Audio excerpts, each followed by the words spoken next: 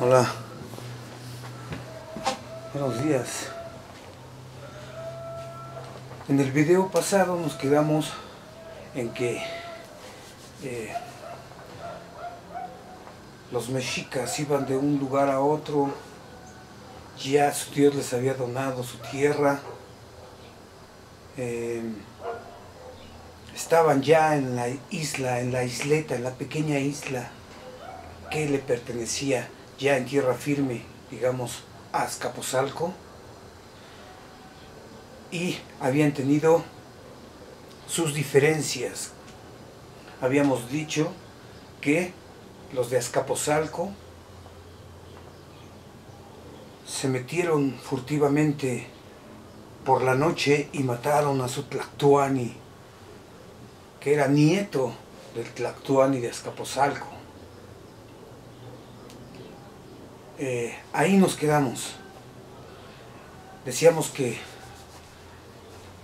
se prepararon y se alibrestaron, pero los calmaron porque eh, lo que seguía era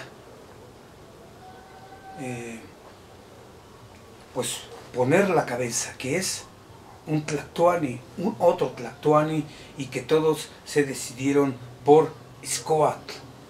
Esta parte es muy importante. Los estudiosos ya lo saben, en todos lados se comentan estas, esta parte porque es precisamente es una parte medular de la historia de los mexicas porque es precisamente cuando se preparan para ser libres. Libres del tirano de Azcapotzalco y de eh, su pobreza, porque siendo libres, libres se iban a preparar para conquistar el mundo. ¿Cómo pudieron hacer estas cosas? Ya lo hemos estado diciendo. Ahora bien, eh, eligieron a su representante Iscoat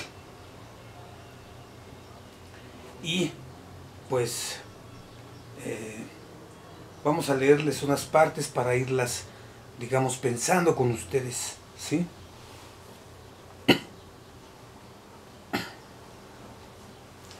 Por aquí habíamos dejado nuestro librito que no se ve, que no sabemos dónde está.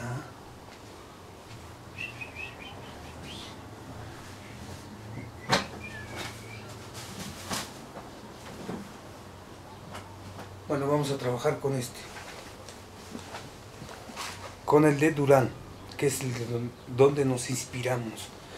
Lo que sucede con nuestro trabajo es que este, pues, narra todo, ¿no?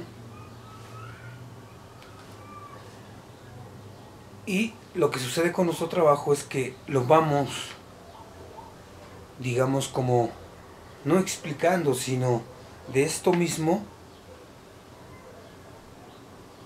digamos, comprendiéndolo, ¿sí? Desde el mismo texto. Entonces, después de hecha la elección de Iscoat y los vecinos de la ciudad muy alegres y consolados con la elección, la cual elección fue en el año 1424, unos dicen que en el 27, 28, pero no pasa nada, son esas fechas. Luego empezó a entablar las cosas de la guerra y a proveer en las cosas necesarias para ella. ¿Sí? Ya, digamos que se les mata a su Tlactuán y entonces eso parece que se enciende, digamos, el fuego porque eh, parece que va a haber guerra, ¿no? Y entonces se preparan los mexicas y algo muy importante que, este, ¿qué sucede? Y es que también ustedes eh, les pedimos que hagan sus apuntes para que lleven el, el, registro de lo que está sucediendo, principalmente aquí. ¿Sí? Ya hemos visto todo el viaje de la peregrinación, ahora nos toca ver la situación en la que se encuentran, ¿sí? que es una situación de extremo peligro.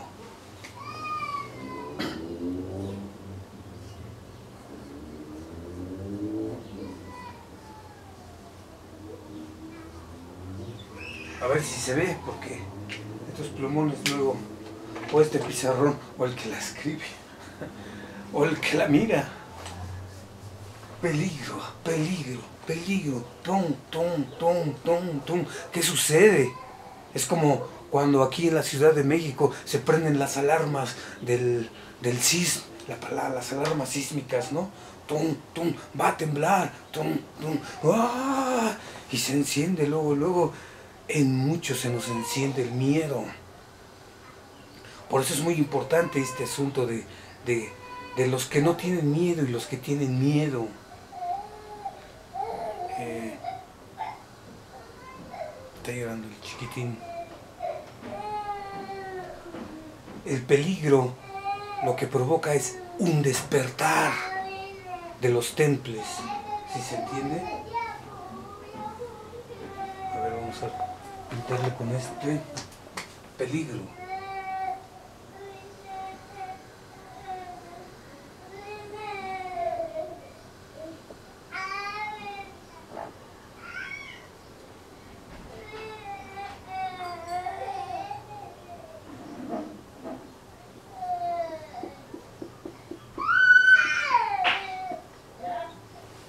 despierta los temples, el peligro, la situación de peligro, enseguida nos hace saber quién es quién.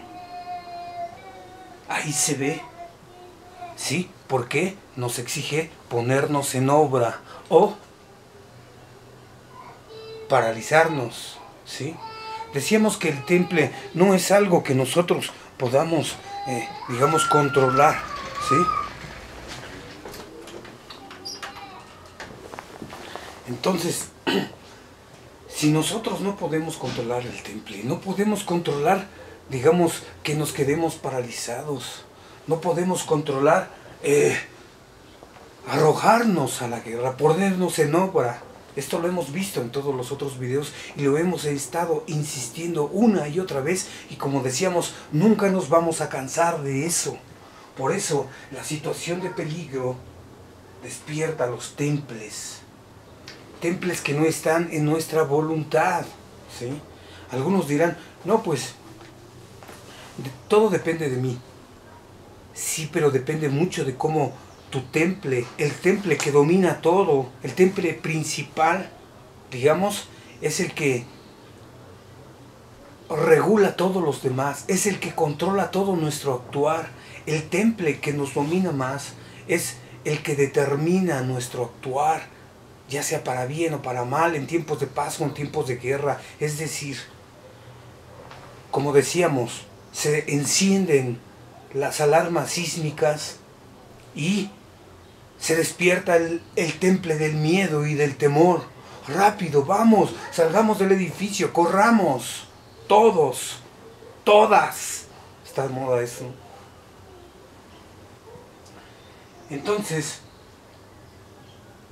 Sucede que cuando no hay alarma sísmica, lo que sucede es de que hay un miedo, pero ese miedo, digamos que está dormido. ¿sí? Vamos a poner de este lado miedo pasivo, dormido.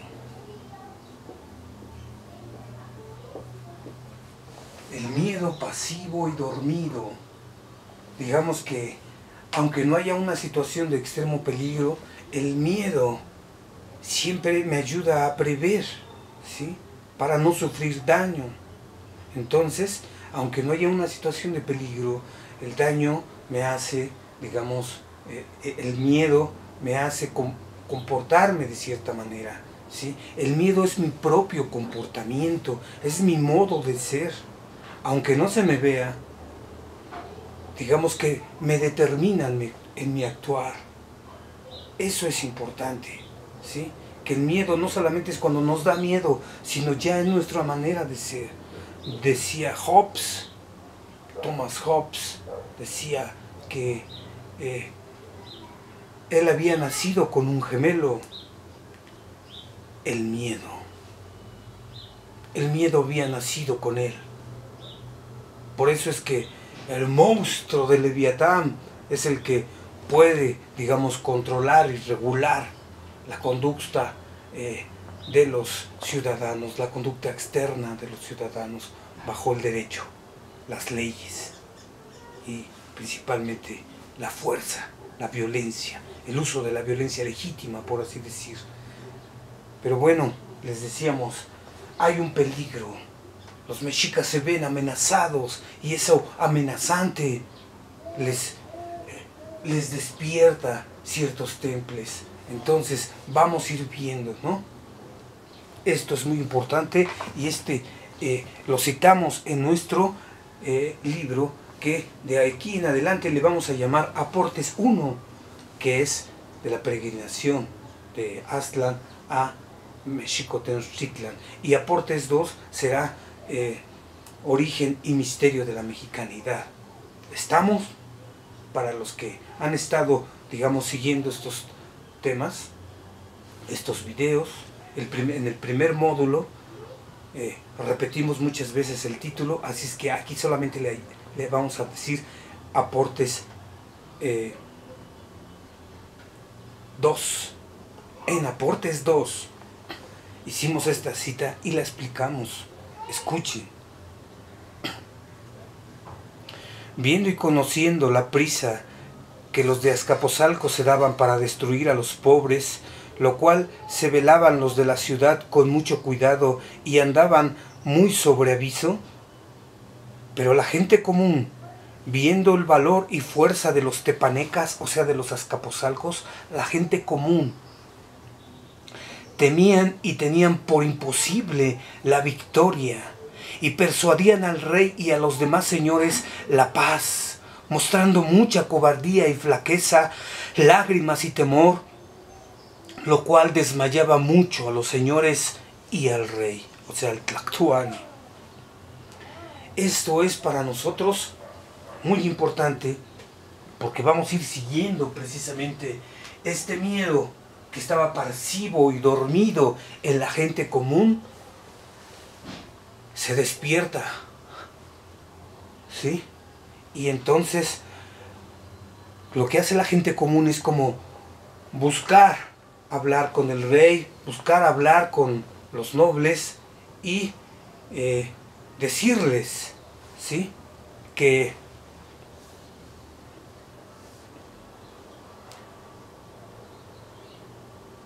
persuadían, tenían por imposible la victoria y persuadían al rey y a los demás señores, ¿sí? Los trataban de persuadir de que no van a ganar la guerra, de que es mejor la paz. ¿Sí? Estaban llorando, estaban temerosos, cobardía y flaqueza. Eso desmayaba a los señores, decía, oh, por favor, no se luche. Los señores los escucharon.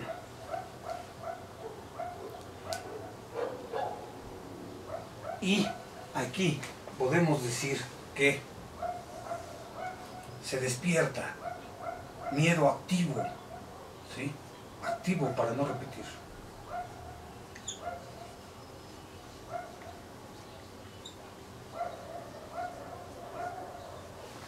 Activo, despierto. Vamos a subrayarlo con rojo.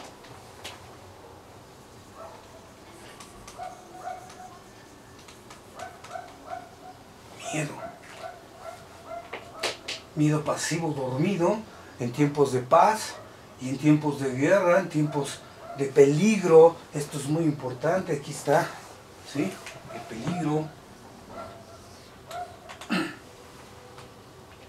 Ahí dice peligro. El peligro enseguida enciende el temple de, los, de la gente común y eh, intentaba persuadir a los a los gobernantes, ¿sí? que son precisamente los que tienen valor, ¿no? Y entonces sigue esto, y preguntándoles qué era lo que querían, o sea, los nobles, a, los, a la gente común, a la gente de pueblo, a los más iguales, acostúmbrense a escuchar, más adelante eh, vamos a hablar mucho de más igual, la palabra más igual la, pudimos haber repetido todo el tiempo, pero eso significa gente de pueblo, la gente de trabajo, Y van a ver, perdón, van a ver por qué. Eh, entonces, y preguntándoles, o sea, a la gente común, qué era lo que querían, respondieron que el rey nuevo de Azcapotzalco, que era un... Ah, y preguntándoles a la gente común, qué era lo que querían. Bueno, ¿qué quieren ustedes? Gente común, gente de pueblo, ¿qué quieren? Díganos. Perdón. Pastillitas para Entonces, la gente común respondió al rey, la, gente común respondió y dijo que el nuevo rey de Azcapotzalco, recuerden que se murió de tristeza, ¿no? Porque quería mucho a su nieto, que era el Tlactuani. El, el Tlactuani de Azcapotzalco era abuelo del Tlactuani de los mexicas, de México, de México. Entonces, el nuevo rey que pusieron, decían los, los macehuales, el nuevo rey que pusieron, el nuevo rey de Azcapotzalco, es un hombre piadoso.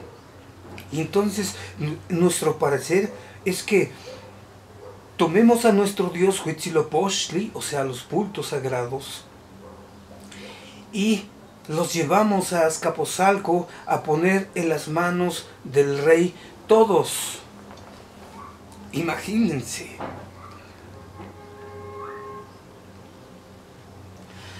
Todos llevamos a nuestro Dios, lo entregamos a, los azcapozalcas y con mucha humildad para que se hiciese de ellos lo que fuese su voluntad, para que con mucha humildad, para que se haga con nosotros lo que ellos fuere su voluntad. ¿Sí? Y así quizás nos puedan perdonar los de Azcapotzalco.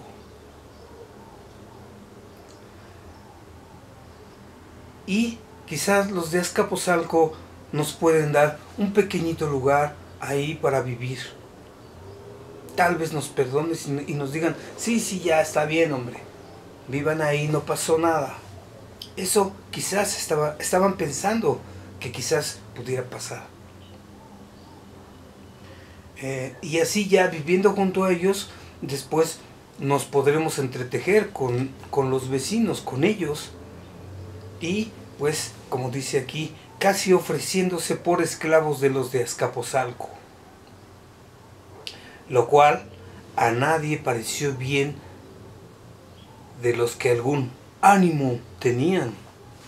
Lo escucharon así como que, ¿cómo? ¿Entregarnos todos? A nuestro Dios Huitzilopochtli, pedirles perdón de que hayan matado a nuestro rey. Bueno, sabemos que ellos los provocaron primeramente, ¿sí?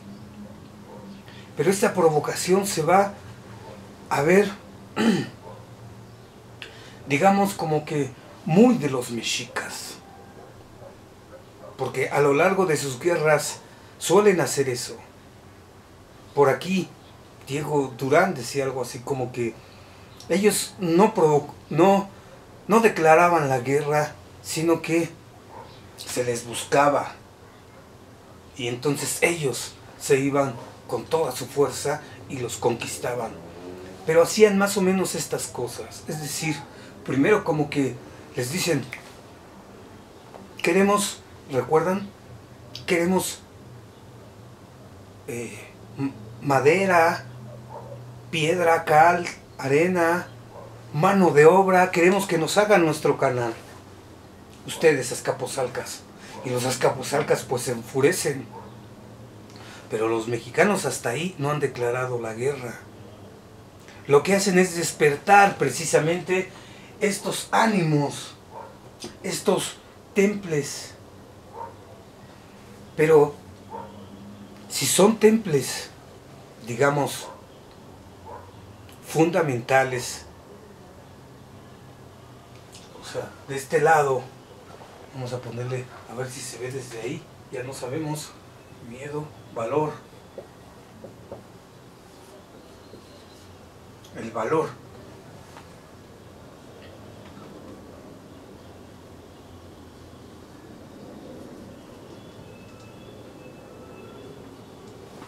El peligro despierta los temples del miedo y del valor, el ánimo.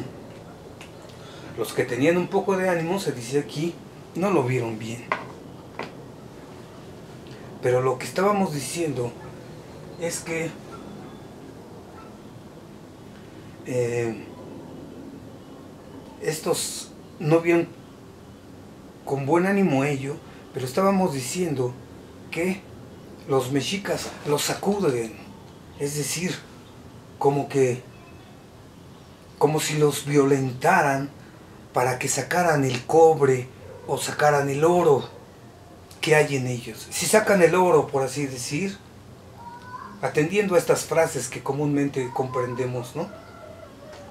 Pues entonces es su valor, su ánimo, su, su poder, su relación con sus dioses, etc. Pero si sacan el cobre, es así como que se enfurecen y se enojan, digamos, eh, como luego nosotros solemos enojarnos, ¿no? Así, por nada, y aleverstarnos y, y hacemos tonterías. Entonces, ¿qué sucede?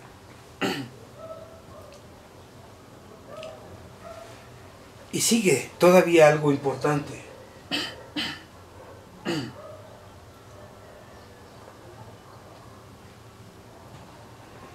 El valor acá, decíamos, para un poco ponerlo como de este lado, el valor está remitido también a esto mismo. Es pasivo y dormido es activo y despierto. Aquí el peligro despierta el ánimo de decir, han matado a nuestro rey, a nuestro Tlactoani, y en corto uno se alebresta, ¿no? Me mataron a mi rey, vamos a prepararnos para la guerra. Pero resulta que aquí el valor está remitido, es, es, es un temple fundamental, porque está remitido a la divinidad. Habíamos dicho que el valor es lo que caracteriza al guerrero, es lo que hace al tequihuaque ponerse en obra en la guerra que es sagrada. Es decir, este, los mexicas, por aquí tengo otro librito, a ver si lo encuentro rápidamente. Aquí está. es este librito, que de una vez se los invito a que lo lean para... Es como dice aquí, confrontación entre franciscanos y sabios indígenas. México, 1524. ¿Cómo es que se reunieron, hablaron y la memoria o los códices se escribieron. Más adelante, ya después se escribió pues en, en miren, encontré esta plumita.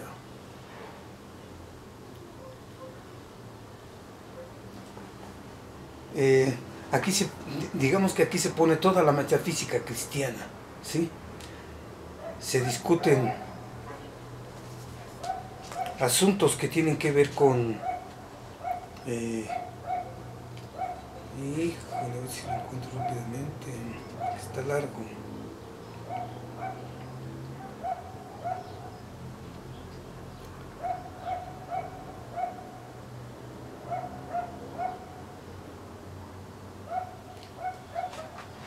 Hay una discusión, es muy hermoso este libro porque hay una discusión entre que, pues, los dioses mexicas son el diablo, son el demonio y el Dios de los occidentales, de los eh, españoles, de los extraños, pues es el verdadero y todas estas cosas que pues pues no se vio digamos que con muy buenos ojos, ¿no?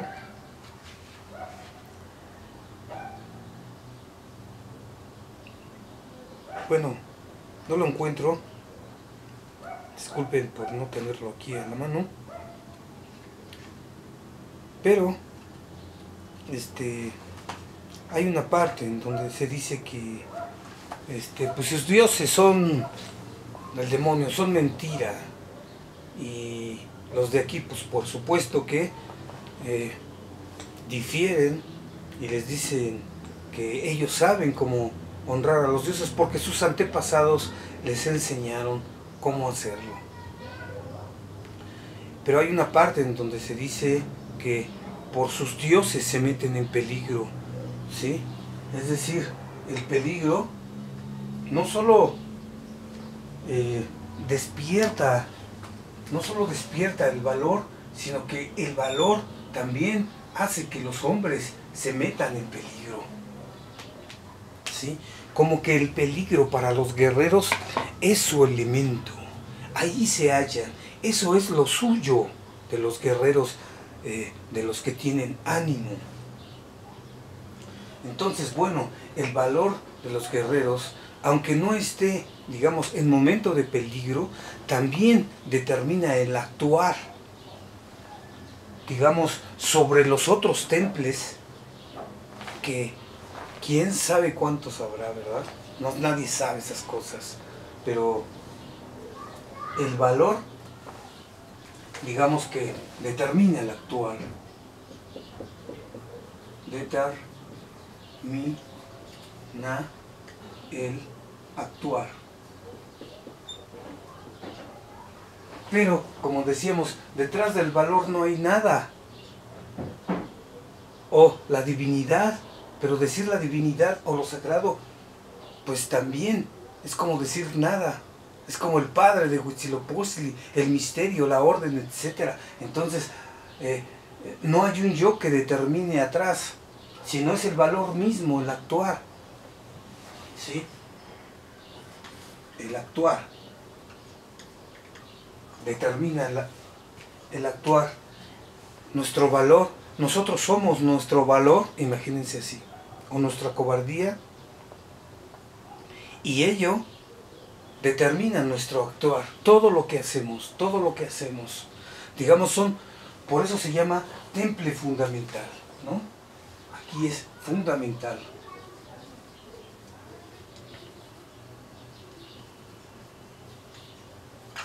Y aquí es el miedo, es un temple ordinario.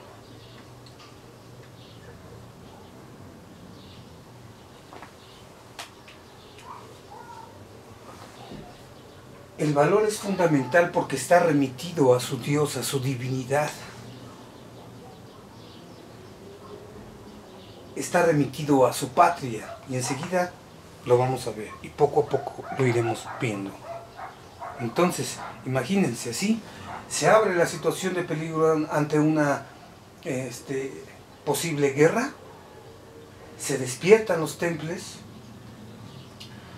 los, los, la gente común, o sea, los más iguales, estaban, eh, vamos a taparle tantito la luz a ver si se ve así mejor, ¿sí? estaban templados en el miedo, pero estaba dormido. Lo único que sucedió fue que se despertó y dijo, no queremos guerra, oh rey. Y entonces el rey les dijo, bueno, ¿qué quieren? Eh, preguntándoles qué era lo que, qué, quieren. Y ellos dicen, vamos a entregarnos a Escaposal con nuestro Dios. Imagínense, después de haber recorrido 260 años la peregrinación, después de eh, nombrarles mexicanos, después de eh, entregar eh, después de haber nacido su Dios, de que se puso en obra en Coatepec, después de que este, el Dios mismo les dona la tierra para habitar de manera propia su patria, para construir su patria, los más iguales, ante el peligro, viéndose, quieren entregarse lo cual no lo vio muy bien los que tenían algo. ¿Sí? Y entonces, ¿qué pasó después de eso? Esto es muy importante también, todo es importante, pero lo que sucede es de que cuando uno los lee estos textos, pues se sigue, ¿no? Sigue, sigue, sigues y te, te avientas todo el texto. Y dices, bueno, pues está interesante, está, como que nos describe más o menos cómo eran antes, ¿sí? Pero estas cosas habrá que detenerse, Y esto es muy importante por lo que se dice que entonces estaban así, ¿no? imagínense allá los nobles, allá donde están ustedes los nobles y acá estamos los más iguales. Entonces les decimos, bueno, pues entonces, por favor, no haya guerra. Y unos de allá, unos de allá del lado de donde están ustedes, donde están los nobles,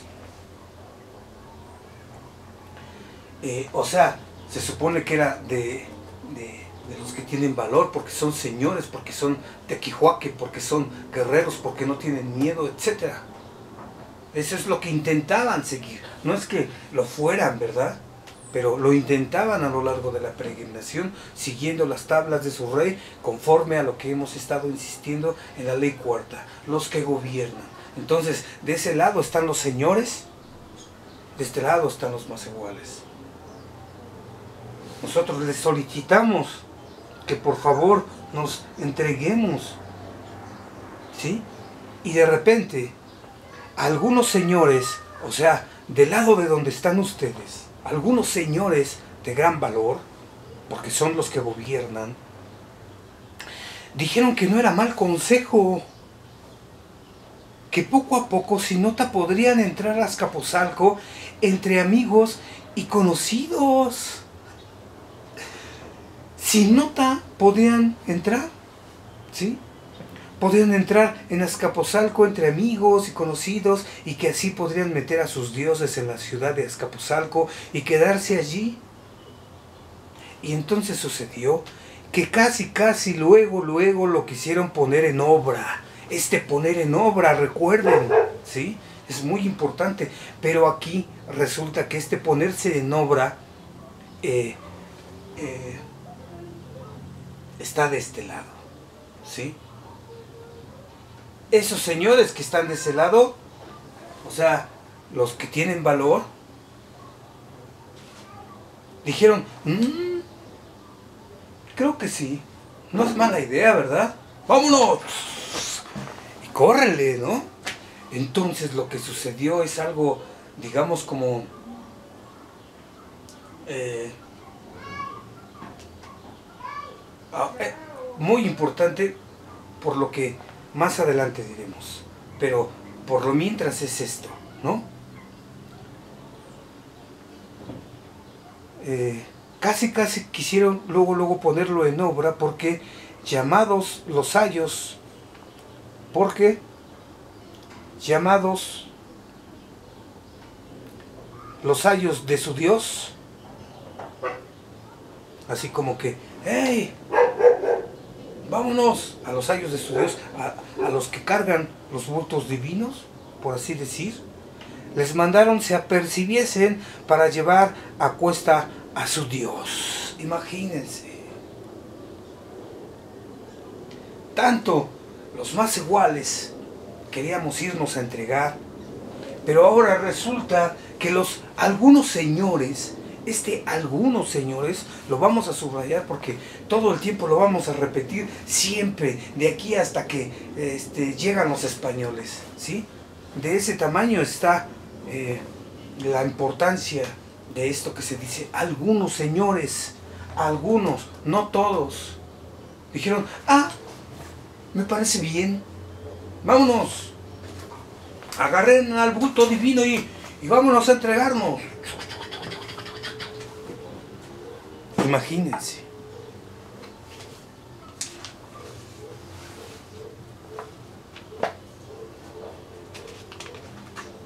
Bueno, se dice algunas otras cosas así como que ya cuando lleguemos a Escaposalco vamos a meterles terror y espanto con nuestros, este, ya que lleguemos ahí. Cosas así, pero ya está de sobra esas cosas, ¿sí? Pero sucedió algo que yo creo que a muchos les gusta esta parte, ¿sí? Porque es precisamente cuando, eh, digamos que es como si no hubiera nadie o algo un poco difuso y de repente eh, alguien asomara su rostro. ¿Sí? Alguien asoma su rostro y dice, eh, ¿a dónde van? A ver, y va poniendo orden, señores y señoras. Esto es eh, maravilloso porque se trata de eh, el, el hombre, digamos, consentido por su dios Huitzilopochtli. El consentido por los dioses. Es decir, aquí por primera vez asoma su rostro el divino Tlacaelel. Figura esencial en la historia de los mexicanos desde aquí hasta que llegan y alcanzan al cielo. Pero bueno, aquí era un hombre muy joven, solo se los digo para que eh, no se les olvide ese nombre, Tlacaelel, que quiere decir algo así como el que despierta el ánimo a propósito de esto, ¿verdad? Bueno, escuchen. Y estando ya poniendo en efecto su ida, nadie decía nada, digamos, ¿no? Así como que vámonos, nos entregamos como esclavos. Estando ya así, salió, esta palabra es salir, es fenomenológica. Salió de entre ellos un valeroso mancebo, un valeroso valor, valor recuerden, es el templo fundamental, el que hemos estado siguiendo. Salió un valeroso mancebo llamado Tlacael, sobrino del rey, y le dijo, ¿Qué es esto, mexicanos? ¿Qué hacéis? ¿Vosotros estás sin juicio?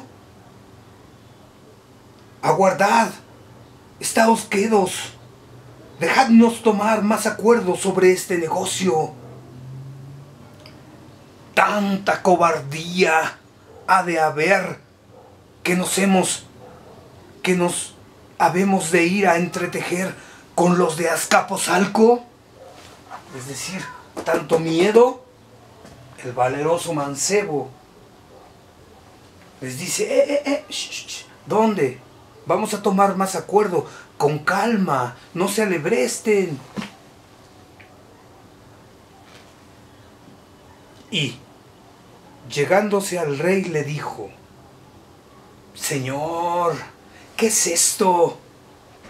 Como que si lo hubiese reprendido al mismo Tlactuani que acaban de elegir el consejo, todos aún eligieron a Scott porque dijeron que era el mejor de todos, ¿recuerdan?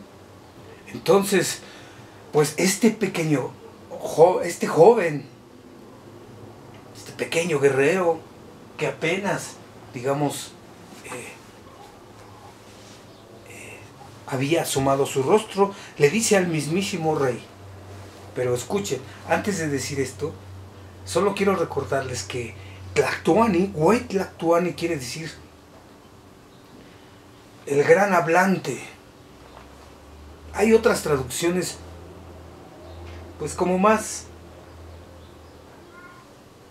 comprensibles, ¿no? Es el que habla, el gran hablador, el gran, el que dice grandes cosas, ¿sí? Él es, pero así literalmente quiere decir el que habla, Tlactuani, el que habla, ¿sí? El que habla a su pueblo, el que, le habla, el que habla a su Dios, el que habla a los sacerdotes, el que determina en última instancia eh, la vida y la muerte, por así decir, ¿sí? Él era lo único que tenía ese poder. Pero bueno, en cierta situación. Ahora bien, le dice Tlacael, regresando a esto, tanta cobardía. Y llegándose al rey le dijo, Señor, ¿qué es esto? ¿Cómo permites tal cosa? Habla a este pueblo, búsquese un medio para nuestra defensa y honor, y no nos ofrezcamos así tan afrentosamente entre nuestros enemigos subrayé la palabra habla. el hablar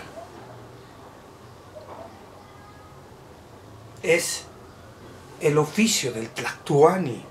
El que habla, el oficio del que habla es hablar. Y entonces eh, le dice, pues habla, cumple tu oficio de, de Tlactuani. Tú eres el que habla, pues entonces habla a este pueblo mexicano. ¿Sí? No nos vayamos así tan afrentosamente, tan cobardemente. Casi, casi como reprendiéndole. Y un joven, ¿sí? Porque estaba muy joven, Tlacaelel. Apenas era un mancebo. Imagínense de qué estaba hecho eh, eh, Tlacaelel. Lo subrayamos porque más adelante, en todas las guerras, digamos, va a ser una figura insoslayable porque, eh, como muchos dicen, fue como rey de reyes, ¿sí? Fue como el, el, el, el, más grande estadista de los mexicanos. Y bueno, sigamos poco a poco, no os desesperéis. Entonces, el Tlactuani, volviéndose a la gente que estaba presente, díjoles,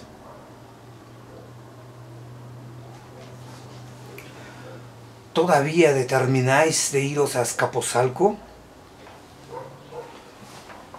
Cosa de gran bajeza me parece.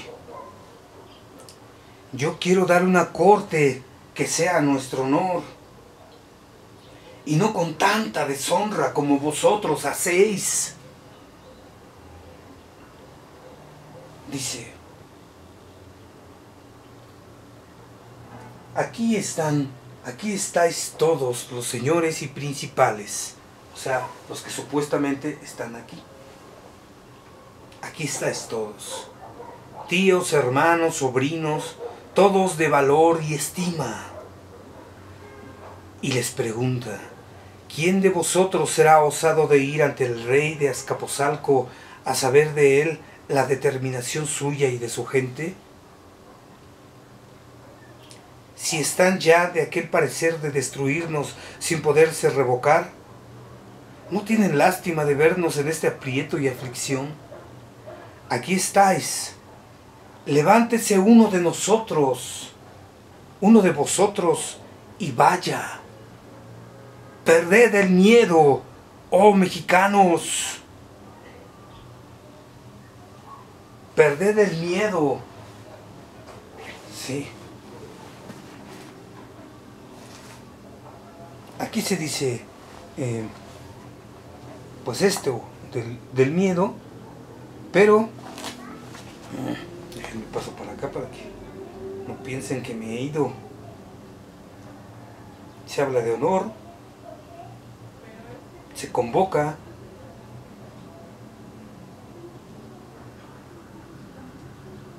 y pues eh, resulta que, que pues tiene que ir uno, ¿no? Ya todos estaban, digamos, asustados, estos también estaban como que queriendo pelear, pero no se sabía bien a bien si sí se iba a declarar la guerra o no. Entonces se iba a mandar a un emisario para preguntar qué va a pasar. ¿Sí?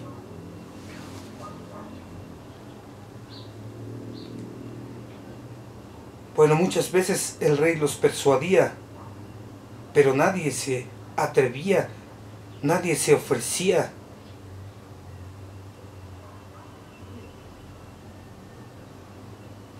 Entonces, eh, sucedió algo que nos recuerda al mito de el nacimiento de los dioses, perdón, el sacrificio de los dioses allá en Titihuacán, cuando se les convoca a los dioses y se le eh, para arrojarse al fuego, ¿no? Resulta que eh, el primero que levanta la mano es Tecusitecat y después dijeron también es algo cómico, como suele haber en todo esto. Dice, ¿quién otro más? ¿Quién otro más? ¿Quién otro más? ¿Quién otro más? ¿Quién necesitamos uno más que se, que se arroje, que, que, que se sacrifique, que se meta al peligro, como en este caso? ¿No? ¿Quién otro más? Y se dice, precisamente en nuestro escrito, que no sabemos dónde andará, se dice que este eh, que los dioses eh, se acobardaron también, ¿sí? se llenaron de temor. Y entonces, cuando les dijo, cuando dijeron, ¿quién otro más? ¿quién otro más? Pues nada más volteaban así. Se miraban, se dice que miraban, se miraban unos con otros. Así como, ¿quién será? A ver, ¿quién, quién, quién? ¿Quién? Todos le hacían así, imagínense los dioses. Los dioses mismos también, digamos, los ponen como temerosos, ¿sí? Que al final, en el mito, pues se sacrifican y aquí también, ¿sí? Eh, eh, tienen temor todos. Nadie dice yo. Nadie, nadie hacía ahí su rostro visible. Nadie se hizo allí visible ¿sí? Como dice aquí, nadie se ofreció, nadie se atrevió, como si cuando se remite al Dios Tecositeca, cuando no se arroja al, fuego su, su, misión, su encargo solo fue venir aquí a, a quererse ofrecer, a quererse atrever, pero no lo hacen. Y entonces, al botearse así todos, el mismo Tlacaelel dijo a, a su a su rey. Le dijo, dijo en voz alta, con ánimo valeroso, esto no se nos olvide, es muy importante esto del valor, porque precisamente es el temple fundamental de los mexicas.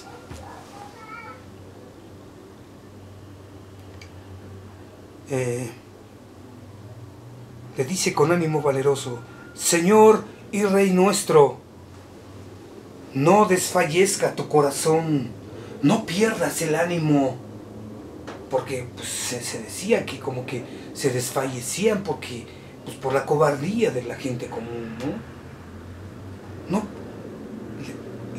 Le dice, no pierdas el ánimo. Aquí están presentes estos señores, hermanos y parientes míos y tuyos, o sea, todos los señores que están metidos en el valor. Dice, y pues aquí están presentes todos, y pues ninguno da respuesta a lo que les ruegas, mirándose unos a otros. Por tanto, digo que yo me ofrezco a ir a llevar tu embajada donde fuere servido sin temor a la muerte. Esto es fundamental, señores y señoras. Es que esto no se puede pinta, sin temor a la muerte. Sin temor a la muerte. A ver si se ve. Esto lo vamos a ir poniendo aquí. ¿Sí? Y se pueden poner otros, como por ejemplo el ánimo, el ánimo valeroso, ánimo. Aquí están todos los señores y nadie se arroja. Es como si hubiera, como si el silencio de Nana Watson, así como que todos mirándose unos a otros, los dioses antes de sacrificarse, llenos de temor. Y como ninguno se arrojaba, y vieron al Señor que otorga, el silencio otorga, dijeron, tú serás Nanahuatzin. Y aquí es al revés, Él sale, ¿sí? Y dice, pues como se ven unos a otros, entonces yo voy, ¿sí? Y sin temor a la muerte. Esto es importante, porque la mayoría de los seres humanos tememos a la muerte. Esto es como lo que decíamos con Kuyolchonki. Si nosotros vemos embarazada a una mujer, a nuestra madre que ya no tiene marido, a nuestra hija que no está casada y está embarazada, ¿sí? Si José la hubiera visto a María embarazada, ¿qué va a pensar como gente común? A José porque le avisaron, pero a Coyolchauqui no. ¿Qué va a pensar la Coyolchauqui? Pues lo que solemos pensar todos, ¿sí? Que se acostó con alguien, que yació con un hombre, ¿sí? Bueno,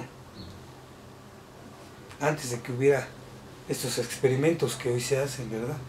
Una modernidad. Y entonces, pues este sin temor a la muerte debe de, buscarse la palabra en náhuatl y referirla y apuntarla y ver su raíz. ¿sí? Las raíces de todas estas palabras eh, deben de verse su raíz para irlas, eh, digamos, comprendiendo, descubriendo. Y bueno, esto también está un poco medio eh, este, oculto, medio difuso, medio ambiguo, pero a ver, ustedes digan. Y sigue diciendo Tlacaelel, porque si entendiera que había de vivir perpetuamente, o sea, si entendiera que yo era un, fuera un inmortal y que nunca había de morir, con esa misma voluntad fuera que ahora voy.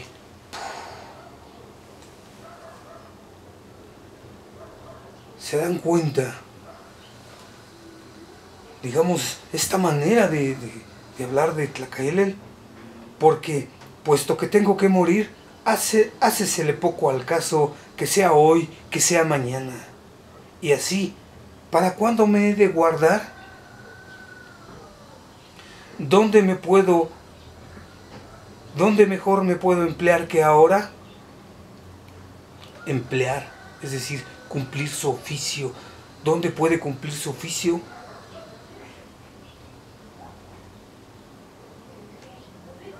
¿Dónde moriré con honra y en defensa de mi patria? Por tanto, Señor, yo quiero ir en defensa de su patria. Patria.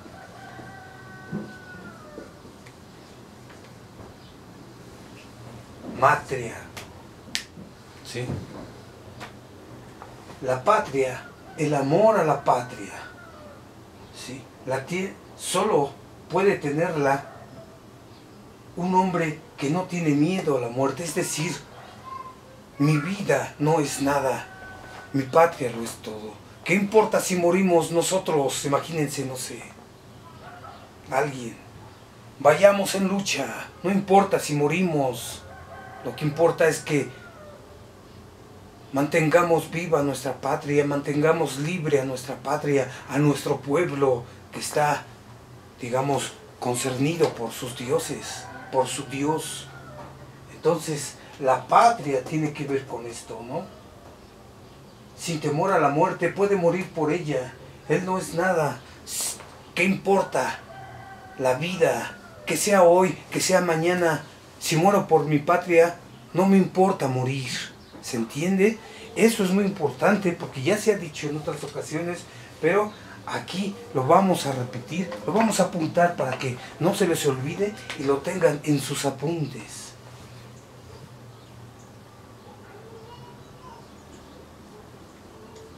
tiene en nada la vida.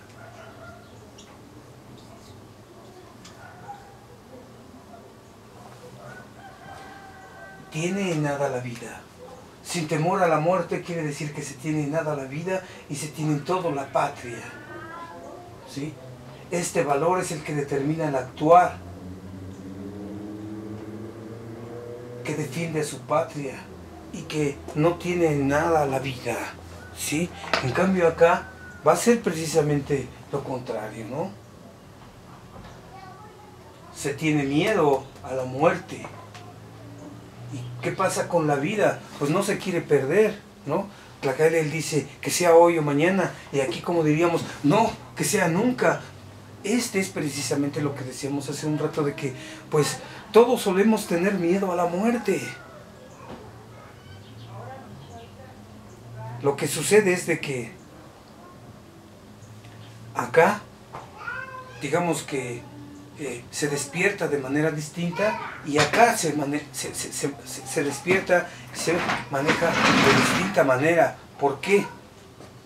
Porque aún que los dioses en Teotihuacán, recuerdan, y esto es, eh, esto lo, también lo vemos en nuestro trabajo en Aportes 2, ¿sí? en donde los mexicas, y lo vamos a repetir una y otra vez, eh, los, perdón, los dioses en Teotihuacán sí tienen temor y nadie ahí se hace visible.